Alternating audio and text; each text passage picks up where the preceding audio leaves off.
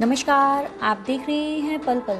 पंजाब एवं हरियाणा उच्च न्यायालय के मुख्य न्यायाधीश न्यायमूर्ति रविशंकर झा ने शुक्रवार को न्यायमूर्ति एस मुरलीधर को पंजाब एवं हरियाणा उच्च न्यायालय के न्यायाधीश के रूप में पद एवं गोपनीयता की शपथ दिलाई।